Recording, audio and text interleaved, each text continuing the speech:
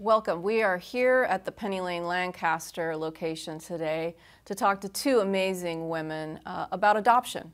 And I thought it was very fitting today to have a very nice Moscato that we will be drinking for Wine with Wendy. Um, I'm Wendy Carpenter. I'm the CEO at Penny Lane, and I'm thrilled that you are joining us today. So, Moscato, a very interesting choice. In our last uh, episodes, we've had nice reds and nice rosés, but we're starting with a sweet wine today. And I think that as you get to know our two guests today, you'll understand why it's important to, to start with the sweetness in life. Um, and that really is about adoption. So without further ado, let me introduce to you our, our two guests. Uh, to my left here, we have Jennifer Lane, and Jennifer Lane is the regional director here in the Lancaster. She is a uh, MFT. LCSW. She's an LCSW, so a licensed clinical social worker, uh, and has done most of her career with that. And then her, her right hand gal is um, Catherine Houghton, and uh, Kathy is the assistant regional uh, manager here at the Lancaster location. And you're an MFT. I'm an MFT. So she is a marriage and family therapist. So, uh, well, ladies, thank you so much for joining me. Let's do a toast. Um, and, and thank you for your courageousness. I know that sometimes opening ourselves up with something as personal as adoption and um, you know, bringing kids that you did not birth into your home is something very near and dear to your heart. So thank you for trusting us with the process. And here's to the sweetness in life. All right, sweetness in life. Delicious Moscato. it's a delicious Moscato. It is. It is. so let's start with um, just a little bit about the decision making with um, with adoption. You know, it's not always as as women our first choice. Um, so I'm curious, Jen, do, can we start with you? Just tell us a little bit about some of the decision points with your husband, uh, Patrick, and, and how you fell down on that, that issue. All right, so my, my parents were residential foster parents before ever choosing to have children. And so when I was little, we heard stories, you know, growing up about those times where they were taking care of special needs kids and all of those, you know, memories that they have of that time, which was very special to them. So even from like a young child, I was like, I want to foster, you know, when I'm older. And then in high school, I already knew that I wanted to pursue psychology. It kind of runs in the family. And I had this volunteer um, experience at a state hospital with children on a children's unit. And a lot of those kids were orphaned. Mm. You know, their parents had, had left them at the state hospital. And it was really a heartbreaking but very influential experience for me in high school and realizing that you know every child really needs a family that's going to cherish them and love them and be committed to them. And so fast forward to meeting my husband. And then we both ended up in careers where we both ended up working a lot with kids that were in dependent care. And hopefully we made a positive impact in those kids lives but what was always really apparent, what we would talk about when we got home from work, was like what these kids really need is someone who is committed to them, that has their back, that's not going to leave, and that every day is practicing that, that sacrificial, you know, love. And that's where like the healing and, you know, that, that's where the real healing is done in that relationship. And so we, again, talked about having kids kind of bypassed, you know, the, the typical age for childbearing. Yeah. And at some point, you know, we were like, we really want our lives to matter more than they do now. We've talked about fostering for a very long time. And the calling, I think, to foster really came like simultaneously for both of us. And we were patient and waited for that to happen. And when it did, though, it was like an urgent calling. Like, we need to do this now. So we found an FFA went through that whole process uh, in under nine months, like a pregnancy, and actually got called for a placement before we were technically certified. Wow. So the day we signed our certification paperwork, we had a baby, you know, in our arms as we were doing that. So, you know, just take us back a little bit, Jen. So you believe that the, the kind of the foster care experience or what you call a calling, which I think is exactly right, yeah. really started as a very young age with your own parents and, and seeing that uh, part of your purpose in life is to help those that would be otherwise completely alone in the world. Is that kind of how it yeah, felt for you? Yeah, being in this career and working with children for most of my career, Um, you know, again, many which were, you know, unfortunately victims of, you know, abuse, neglect, substance abuse, um, in utero trauma. You know, you again, you see the impact. I've seen the impact for years that a really good foster parent, someone who again is committed, who is going to get them help, who is practicing that sacrificial love day in and day out, you know, the, the way you can change a child's life forever. Mm-hmm. Yeah, Kathy, tell, tell us a little bit about your journey and how that went. You're a single mom. I'm a single mom. Um, for me, it really developed here, working, at working at Penny Lane. Uh, started working with kids as a therapist and didn't realize how much I enjoyed it until I was in it. And then over the years, you know, I was married, I got divorced, um, and at some point, I just decided, like Jen, I want more. You know, there's more I can offer, there's more I can do. And there were so many kids that came through my door that I felt the same way, just needed someone in their corner, really just needed that stability. I felt I could provide that. And that there's so many amazing kids out there that needed someone in their corner. And so I shortly after Jen, you know, she, you know, hearing about her experience and going through the classes to become a foster parent really pushed me to look into it and started going to some uh, orientations and figured out the right agency for me and moved forward. And unlike Jen, I had to wait a little bit longer once I was certified. And I actually called them to be like, hey, remember I'm here. Mm-hmm. Um, and then it was like they were waiting for the right placement. I think this is a good time to talk um, a little bit about the, the, you, you both refer to FFA, the foster family agencies that, that you go through. And, and that's not an easy, you know, you alluded to that, Kathy. That's not an easy process of where you just pick up the phone and say, hey, I'm ready for a kid. Um, can you both talk a little bit about from kind of the start when you get that burning desire to when you actually um, have a child placed with you. Jen, tell us a little bit about your experience with your foster family agency. As a foster parent, you kind of have two choices where you can choose to, to go through an FFA or you can just go through the county. And I think because I've always worked for an agency that has a fantastic FFA, I always knew how much support the FFA provided and kind of it always felt like if you were with the county, you know, when things get hard, which they will with every single journey, um, you know, there's going to be challenges along the way that you're kind of left, you know, to your own support system. And with an FFA, you always have someone who really is helping to look out for the foster parent.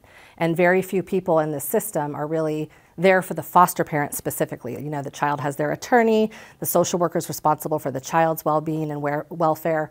And so, as a foster parent, you sometimes are left with like, no one's really there for your interests, right? And, and to kind of allow you to, to vent and get support. So going to an FFA was important to me for that reason. And, you know, there was a lot of education that was provided, which was fantastic. And there's a lot of paperwork that you do. You go through a very intensive, you know, home study where really kind of every aspect of your life is, you know, on record. Um, and really, you know, that, that process can feel intrusive at times, but it really, I think is important because it makes foster parents really pause and have to answer questions about what their capacity is instead of, again, just jumping into it with the best interest of wanting to love a child because it's so much more than that. Love is not enough in this situation. And um, so I think that home study process is really an important process to surrender to, even if it feels intrusive, because it, it asks the hard questions about what child is going to be the right you know, fit for your family at this time. Yeah, and Kathy, um, as a single mom, did you feel that there was more scrutiny? You know, people kind of looking at you like, uh, you know, you should have a husband or another partner that helps you with this. Tell us about it, how it was for a single mom. It, it was interesting going to the orientations. Uh, when I would contact the agencies, you know, being a single mom wasn't a problem. But when I went to the orientations and I'm the only one there that doesn't have a partner, that like that's blaringly different in, in, in the moment. But through the process, I never felt that that was a deficit um, other than the, the logistics of having someone else to be able to help through the process. Um, but other than that, I didn't really feel any different as a single mom. Yeah, so tell us about that. I mean, you know, as a single mom, you know, you know, Jen has Mr. Patrick, and you know, which is a great guy, by the way. We, should, we should really have another chair for Mr. Yes, we Patrick. should. I'm, I'm a huge fan of his. Um, but I know that we, you know we have to cut it a little short today because you've got to get to daycare. I do. You really don't have someone else to rely on. How are you dealing with that? Uh, I'm making a lot of sacrifices, but it's worth it to me. It's it's not. I don't even think about it anymore. Um, it's just figuring things out. It's juggling things. It's really being organized, looking at my calendar, figuring out what can I do, what can I do, and having to make some of those sacrifices of I don't think we can do this because we have this going on. Um, but trying to make up for it like on the weekend or other things. And not to get too personal, because I'm a single lady too. Um, how's dating for you? Non-existent. but I, I'm okay with that because I knew that my, my dedication is to my kids, especially right now. Yeah, so you don't feel you don't feel that kind of hole or loneliness. You, No. you feel very full. Yes, Yeah. yes. So Jen, I want to hear about the first phone call. You know, you're certified now. Yes. You know, well, almost certified now. And it's happening a little bit quicker than you and Mr. Patrick thought it would happen. sure, happen. And all of a sudden the phone rings. Tell us about I mean, I want to hear everything. You know, what was that like? What were your feelings? You know, how did you and Mr. Patrick, were was the room ready? I mean, what was that like? Yeah, so this is so straight. So it was 2016 and it was election day, Trump versus Hillary Clinton. Oh my gosh. I had voted that morning with Mr. Patrick. We had our little stickers. We had taken a, a photo outside of our, our voting place. And so our focus that day was on who's going to win this election. And we were very, you know, in, into all of that. And so Pat had driven up, uh, you know, for work. He, had, he was commuting and was on his way home that night. I was already at home. I think I had come to North Hills actually that day. It must have been probably a Tuesday. so I was in North Hills. I'd come home early after our meetings, and Pat calls me and says, "You won't believe this. I'm on the side of the road. I'm on the side of the 14 freeway. I, I'm, I, if I move like one inch, I'm not going to have reception. I literally am in like the only zone that gets reception right here, and." I just got a call that there's this, you know, baby girl, and he kind of ran down some of the stats that he had been given, and they need to know in five minutes. Like we literally, it's like you know, 4:50. They need to know by five o'clock whether we're in or we're out because they got to have an answer. And so, you know, we said yes, and we were, and we were shocked because we weren't certified yet. We were scheduled that Thursday, I think, to go in and, and sign our paperwork, and so that night, you know, we get home and we're like, oh my gosh, like This is real. Oh my gosh, you know, and the election stuff's on our TV, and we're like, oh my gosh, we just said yes to this, you know, newborn baby girl. And what am I going to do about work? And what are you going to do about work? Like we, we thought we'd had more time, so it was it was very kind of chaotic, and we were very stressed that like, did we make the right decision? And you know, was is this the right placement for us? Is this the right baby for us? We made a decision in five minutes. We didn't pray about it. We didn't think about it. We just heard some stats and said yes. And so, you know, later on, an interesting story is that, you know, again, we were feeling, we were wrestling with this all night. And later on that night, we got a text message from our FFA director who said, Oh my gosh, I have a picture of your baby girl. Do you want it? And we're like, Yes, you know, absolutely, yes. So she texts us a picture and she sends she realizes you know in, in the stats that they had given us about the baby they hadn't told us what her name was and kind of going back in time a little bit patrick uh, did an internship at a preschool and he worked with this particular girl and her family for an entire year and so all this entire year I'm hearing about this little girl and how amazing she is and all this progress she's making and how excited he is that he's working with them. And when it came time to terminate, how difficult that was. And this baby girl's name was Julia. This girl that he was working with was named Julia. And he said, You know, Jen, if we ever have a baby girl, I really want to name her Julia. You know, that name just, and I'm like, Okay, you know, I like Julia. Fine, whatever. and so that night, when the FFA director sent us the picture, she said, Oh, and by the way, the birth mom named her Julia. Oh my gosh. And it was such a, um, Confirmation. confirmation Yeah. from you know God, higher power, the universe, that we felt so much peace that this in fact was the placement meant for us. That's right. we were supposed to say yes. Yeah. And it felt like a gift that someone gave us because we were really wrestling that night with, oh my gosh, what did we do? and it just felt like, again, everything was calm and we were at peace. And you were able to sleep through the night. We were able to sleep well. Which is a good well, we were putting together a dresser Right. and everything else for the next day, but yes. Yeah, that's a great story. Mm-hmm. Kathy, can you top that? Probably not. uh, for, for my phone call, I had just finished a treatment team meeting at our foster family agency um, and had gone out to my car and looked at my phone. And as I started to drive, I was listening to a, a message, and it was from my FFA saying that they had found um, a placement for me and I needed to give them a call right away. And as I'm driving, I was a little in shock because I actually had to wait a while. I didn't I didn't have the the immediate phone call, and I had to pull over to the side of the road too. I think it must be a pattern, um, and talk to the FFA to get the stats. And again, it was one of those things. I think it was four around 4:30, 4:45, and they were like, "Can you come to the hospital tonight?" And it was you know down and down the hill, and I'm like, I don't even have a diaper in my house. Like, you know, can I have a minute? And so they were able to allow me to come the, the following morning. Um, obviously, I called Jen, and she was like, "Oh my God, let's go to Target." And so um, she really helped me kind of get through like what I need and to be excited, and also her enthusiasm and excitement really was like, "Okay, this is good." And then, of course, the minute I met met her, it was Love meant at to first be, sight. Yeah, to you be. just knew. I got to go to the hospital with Yes, Kathy. she actually accompanied me. and it was like honestly i think um, that was like one of the most special moments in my life you know seeing her meet her daughter for the first time Yeah, and, and amazing. for our viewers, you know, th- these two ladies have worked together for how many years? How long have you been here? forever i mean forever i mean kathy's been here longer than i but yeah since since i was a therapist and she was a therapist we met um, probably like my first couple of days of work and Yep. became friends over boston terriers Yep. yeah Yeah, our dogs And so you guys talk a little bit about the community of, of folks who have gone through the journey, the adoption. Yeah.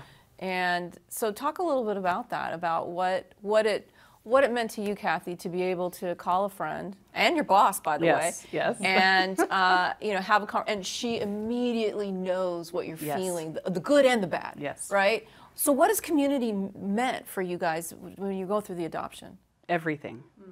I don't think I could do this without the support that I have, and the support from having a, a boss and a friend who understands and is there and has been through it and is there to listen and to, to know the journey that I was beginning um, and continue to go through.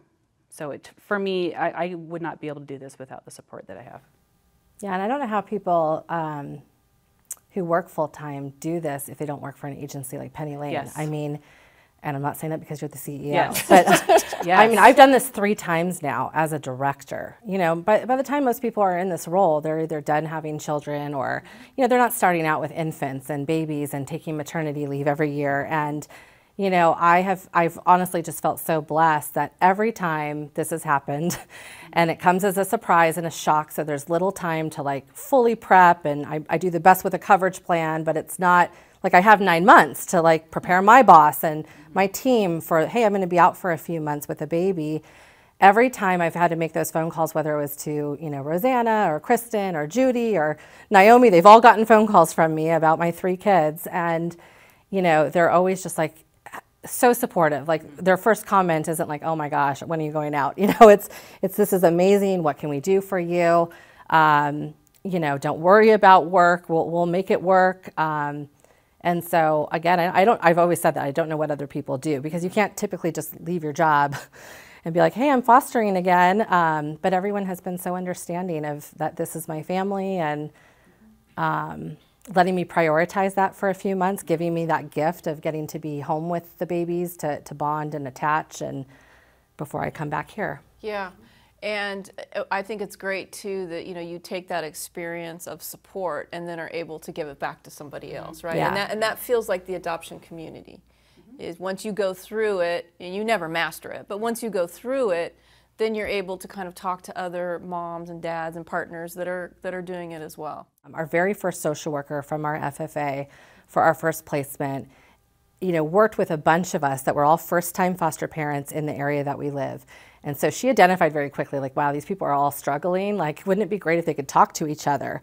And she went above and beyond. You know, I, I, don't know that most social workers would have done this to connect us all and get our permission to exchange phone numbers. And those are some of like my best friends to this day that and I always thank her. Her name is Lindsay Mahoney and she's still, you know, she's an LCSW now at Kaiser, but she went above and beyond and has given us such this like long lasting forever gift of having each other. And we've seen each other now through heartbreak. You know, we've had some of our friends whose kids have been reunified after years and have gone through, you know, that grieving process with them and celebrating adoptions and it, it's such a gift to have that community, and it's so necessary to make it through this journey. Yeah, and I'm so glad you brought that up, Jen, because we we've been talking about all the kind of the highlights, right, and and and the wonderful things about adoption, but it's not always a smooth journey for others. Um, and so, you know, if you could talk a little bit about some of the things that can go wrong um, while you're working towards adoption, you're fostering, but you're working towards adoption.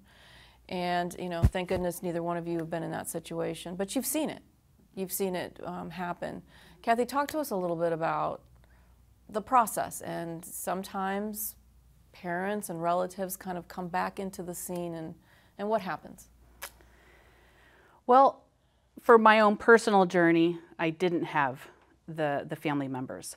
Um, so mine was, was a lot different than I think most journeys. Um, but I've worked with a lot of kids where you see the disruption, you see the back and forth. Um, and, you know, the one thing a child wants to feel is safe, secure. They want to be somewhere where it's stable. And when that's disrupted, you know, each time that just adds like another layer of, can I trust you? And that just builds up, you know, and it's so sad to see a child who starts out as innocent as you know the the babies that we hold in our arms from the first moment we meet them to, to someone who has now developed like I don't know if I can trust you because you're the sixth person that I've I'm walking in to sleep in your house.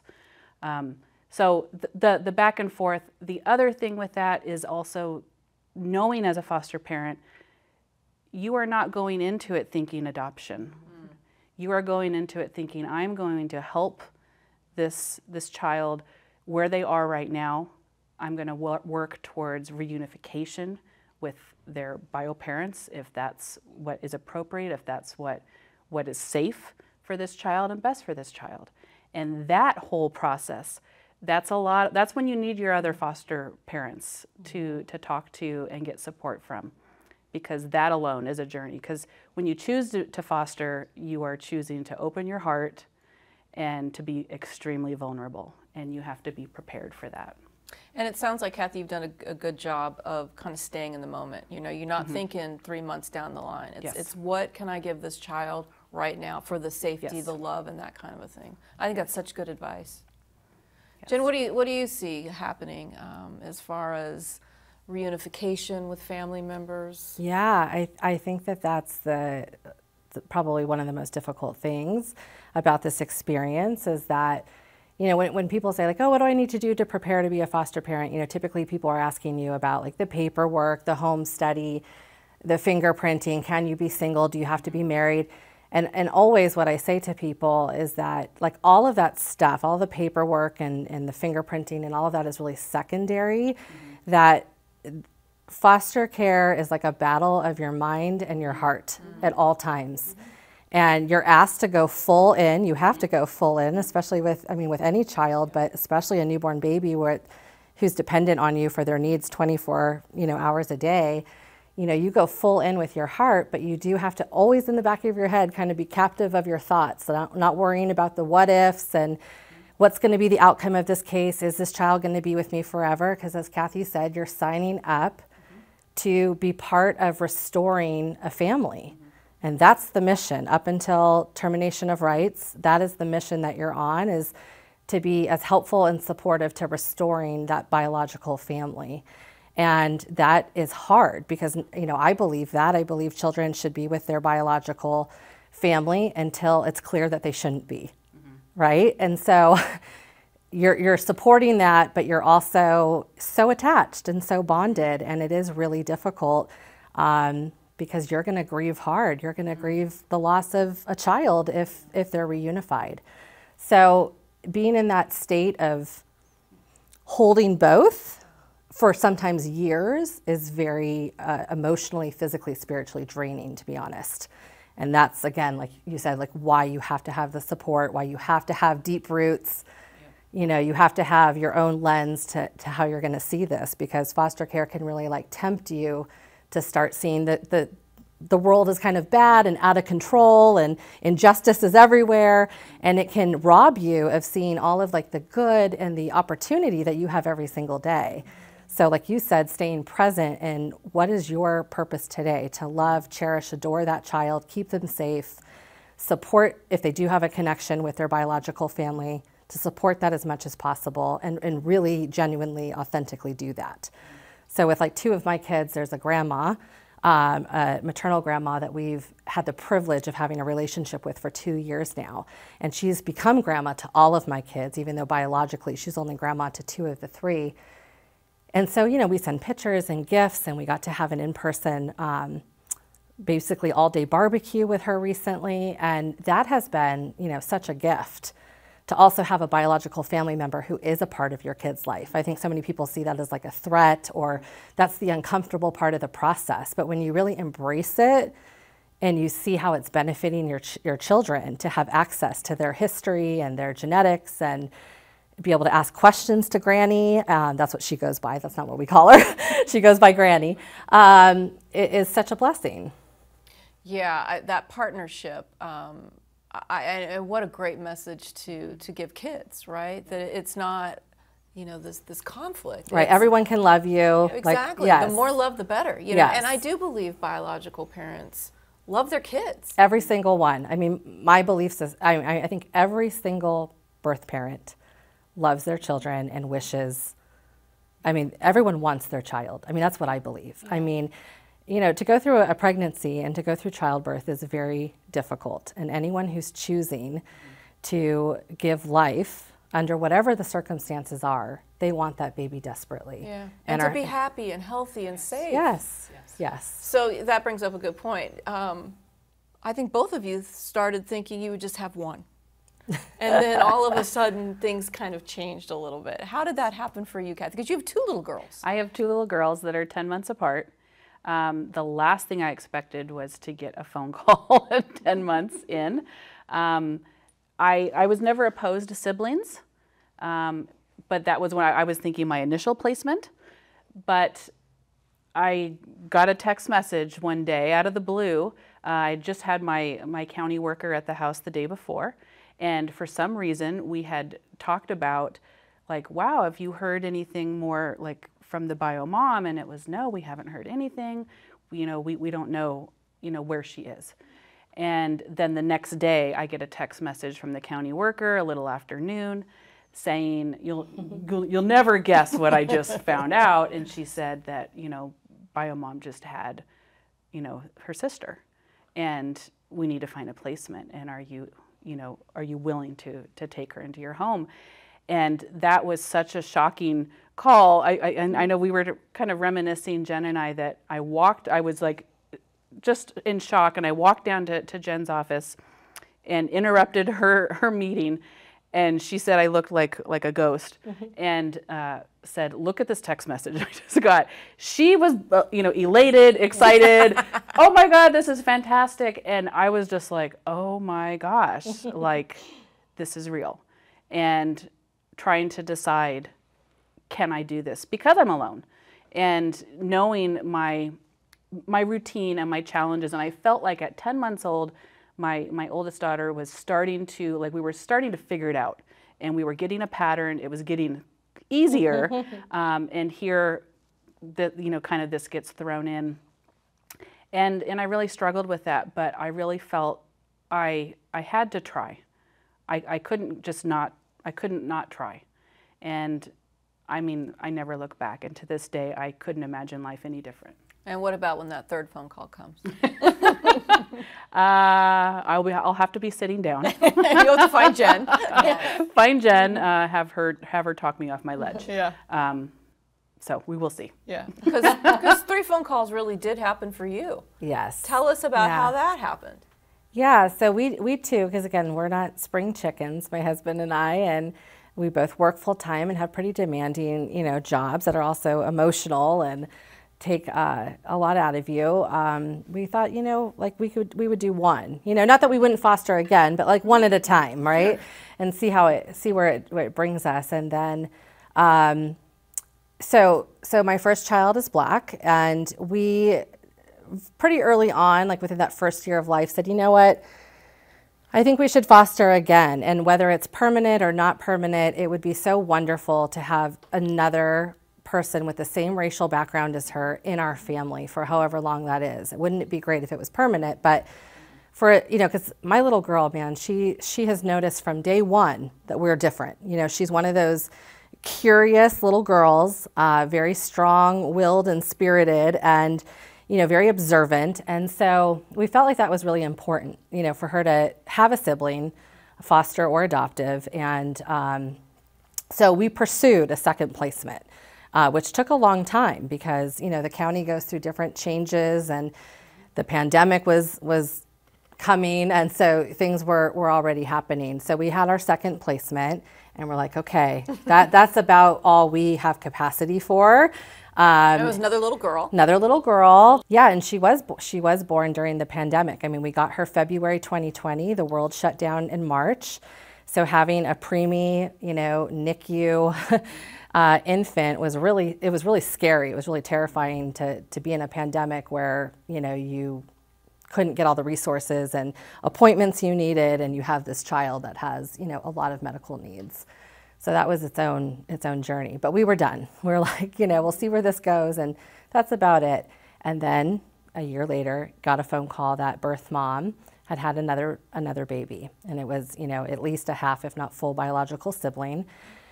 And uh, it, it took a lot of prayer and consideration, um, really having to evaluate how is this going to impact our other two children, how is this going to impact our jobs and careers. We had already, you know, we were already sacrificing a lot, and we knew by adding a third that that was going to come at a greater expense to everyone in our family. And our kids are young enough to where we can't go to them and say, "Well, how do you feel?" You know, like, is this going to be okay if our attention is split three ways now? So you had to have to make a decision on their behalves as well as your own, and on behalf of this child that you haven't met yet, um, which is so hard, so hard. Um, but you know, we we ultimately said yes, and it was like again the best decision we ever made. He is like a miracle. He is my heart. I mean, this little boy is. Um, one of the most beautiful, I mean, all of my children are miracles and perfect. yeah, I mean, we fell in love instantly. You would call him an old soul. Yeah, yes, yeah. What do you see when you look in his eyes? Oh my gosh. I mean, everything. He's so joyful. And again, um, without going into detail, you know, my, my kids, all of them, um, have, have been through it medically, um, in utero trauma, you know, They're know. and miracles. they're miracles. I mean, truly. And anyway, to see him, like, he's so joyful every single day. Yeah.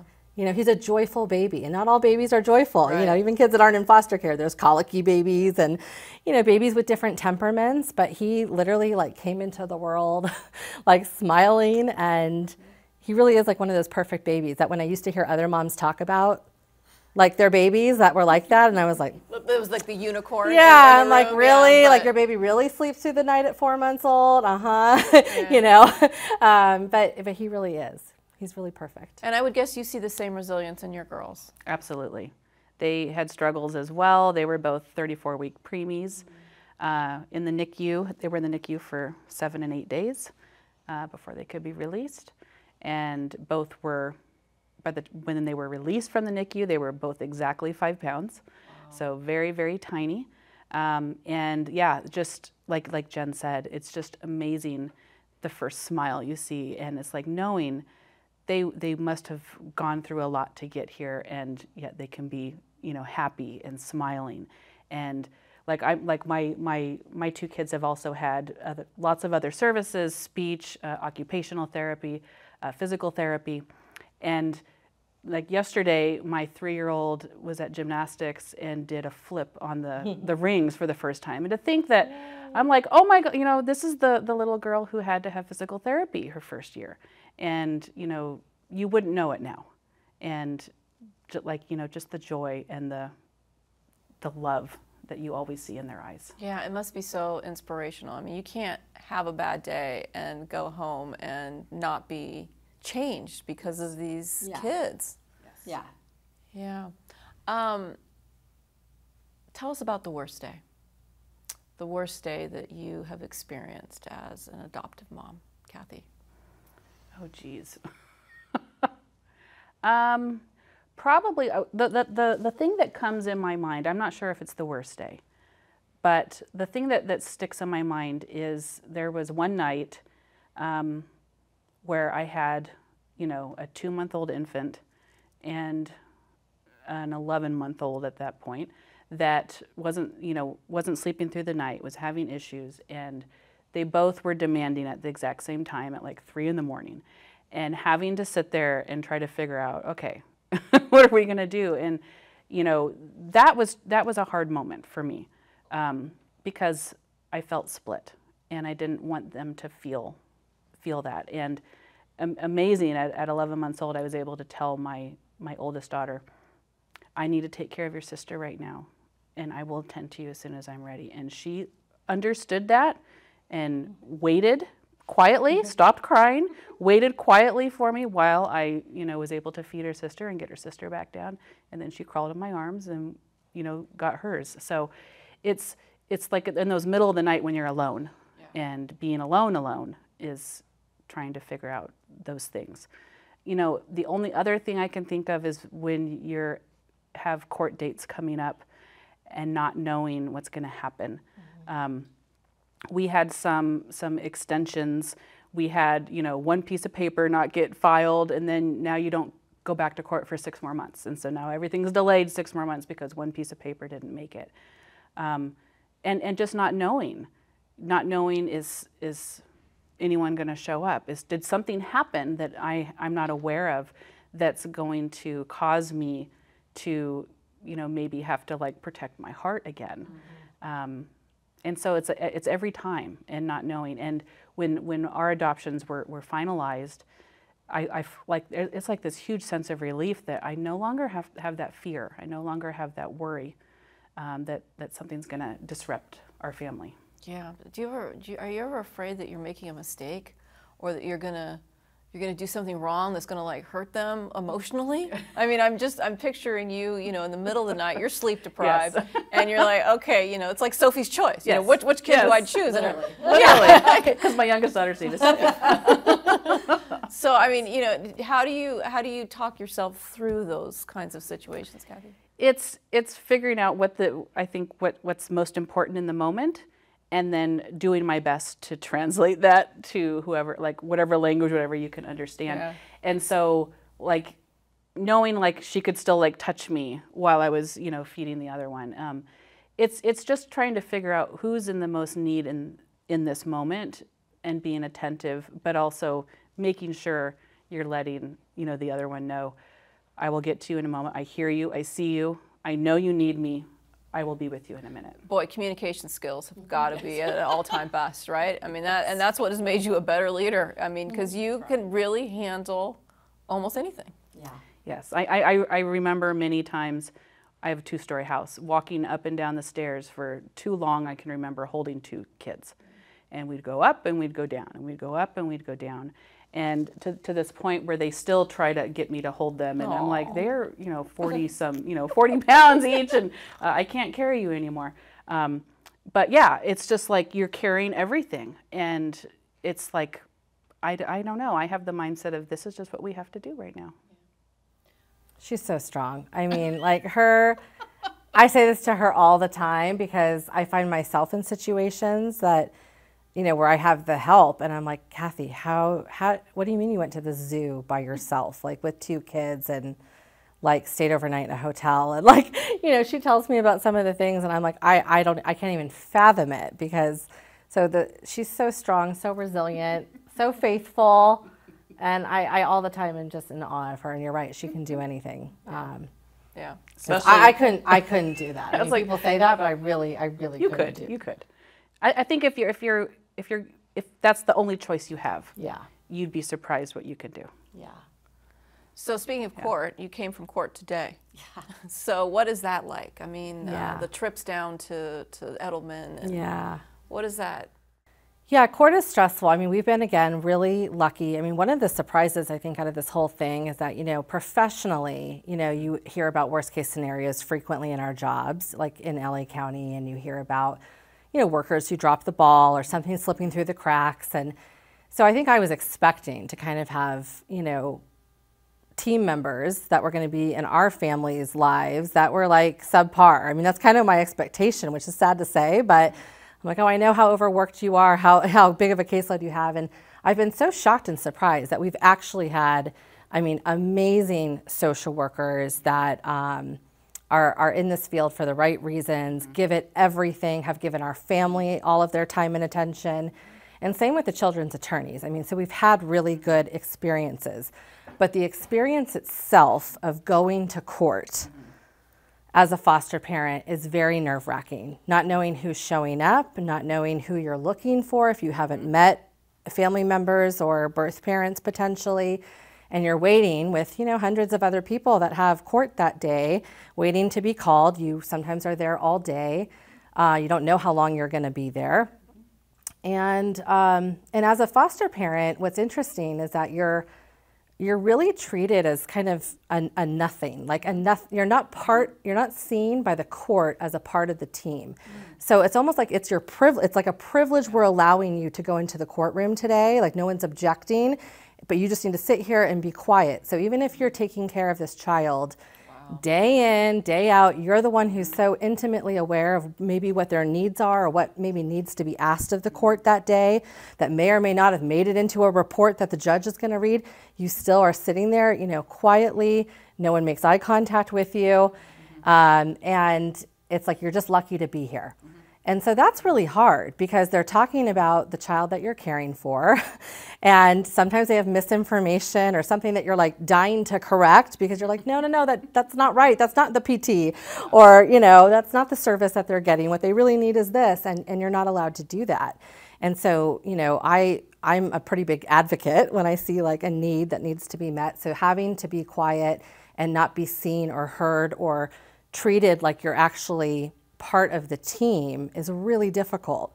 And then it's so interesting because the minute TPR has happens, which is termination of parental rights, the eyes come up, they look at you, they see you, and all of a sudden the way in which you're treated mm-hmm. is entirely different because it's switched from reunification to now an adoption track. So now we can talk to you. Mm-hmm. Now we can see you.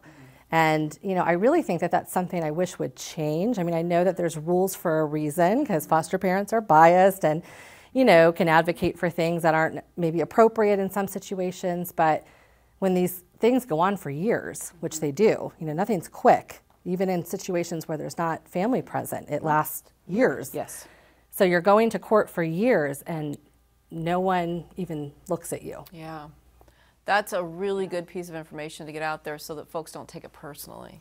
Right. You know, it's just part It's of it's part of that process. the system and the rules and And it's whatnot. painful because, like, It you're like, you know, you've taken off work, you've sat in this courthouse all day, not Well, you knowing how love long this kid. you love this love kid. this you're, child. you know, and and yeah, it's it's. So we had one judge in our very first uh, case who at one point looked at Pat and I in the courtroom and said, you know, thank you for, for the care that you're giving. Is there anything the court can, can do for her right now?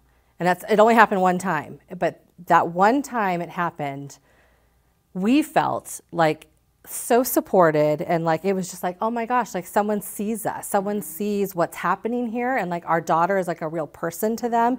We are real people. We're not just someone who's they're reading on a piece of paper. Like like they see us and see and we brought her you know they see her and that was like so impactful and i always like i wrote a letter to that judge to say you know i don't know if this is like routinely what you do, but this has not been our experience prior to this. And what a great experience it was to have you look up at us and ask that question. How do you talk to your kids about the process of, you know, I've adopted you? How do you explain? Th- uh, they're at an age now where they can understand a little bit, right, Kathy? It really hasn't come up. And I, the, you know, because of, for whatever reason, some of their deficits, I think, uh, it hasn't been as, as pronounced. You know, they, they are a different race than me. They are, um, their mother was Lebanese. Um, so they, you know, they look a little different than me, but it's not as blaringly different. And so it really hasn't come up. And I, every day I'm thinking, when am I going to start having this conversation? Because I know how important it is. When's going to be the right time? And, you know, that's when I have my friends here and, and other supports to, to figure out, like, when do I start this? And how do I start this? Even as a therapist, you know, it's, it's very different when you're on the other side of the table and, and trying to figure out when, what to do, when's the right time, how do I do it, um, is, is going to be a challenge for me and it's it's it's a challenge every day. Right. Jen, how have you managed that?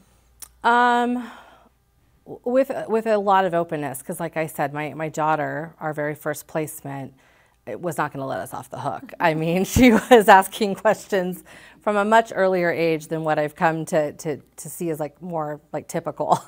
So we've had a lot of conversations about you know. Um, she calls her birth mom. She doesn't like the word birth mom, so she we refer to her as her tummy mom because she can understand that, that that, you know, babies, all babies grow in somebody's tummy. Sometimes babies stay with that tummy mommy, and sometimes, you know, tummy mommy is not able to keep someone safe or is not ready to be a parent yet or, you know, whatever the, the circumstance is, explaining that in like age appropriate ways. And, and so, you know, you joined our family. And um, so she knows that. She's seen a picture. You know, she talks about it periodically and asks questions. Um, so we have a lot of dialogue. You know, she's five and a half, so she's right at that age where it is really typical to be exploring and asking more questions. And she's now at public school, so she sees, you know, all kinds of different families. And what's great is that, you know, being a little more open these days, like, you know, hopefully everyone's having conversations with children, whether they're biologically yours or adopted that hey families look different and are made up differently. You know sometimes there's two mommies sometimes there's two daddies sometimes there's one mommy sometimes there's one daddy. Sometimes you look like your parents sometimes you don't look like your parents. So there's all different types of families but you know what everyone has in common is that they're a family. They're a forever family. They're committed to each other. They love each other you know um, and so you know, every, every stage, every, we take it like one question at a time. And I think um, us having two other children join our family, mm-hmm. you know, has also probably expedited some of that questioning. Mm-hmm. Uh, with your kids looking different than, than both of you, um, do you get stares? Do people try to figure out what's the dynamic here? Are they kind? Are they rude? I mean, what kind of experiences have you had, Kathy? Yeah, I mean, I've had uh, daycare teachers, you know, say, "Yeah, they just don't look like you. I don't, I don't see it." Favorite idea. And and I'm and I'm kind of like, you know, so it's like having to like explain, you know, to to to people. Um, and I was really taken back, like, wow, that's really bold to just, you know, ask a parent that when I'm coming to pick up my child. Uh, and they clearly are running to me. Um, and you know, so I've had that experience. And then just being out in the community, I know. I mean, I have I have blonde hair, and I'm a, a little lighter complexion. They have you know dark hair and will never have to go to self tanning, um, which they're very lucky for. Um, so I mean, I, I do feel like people look at us and I don't know what they think, but I do see the looks sometimes. What about you, Jen? Yeah, I mean we've we've had it all. Um, you know, I have to say for the most part, people are very supportive, and even when they ask something that feels offensive, most of the time, it's out of a desire of not knowing how to ask the right question, or they use terminology that you're like, oh, I wish you hadn't used that word in front of my kid. Um, and so for us, it always depends on like the situation, who's with us. Um, are we together where one of us can split off with the kid? You know, depending on what the questions are or the comments, you know, and what mood you're in to answer those things.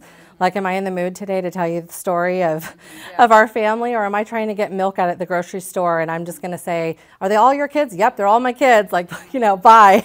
You know, because people say that, like, are these your real children? Are they real siblings?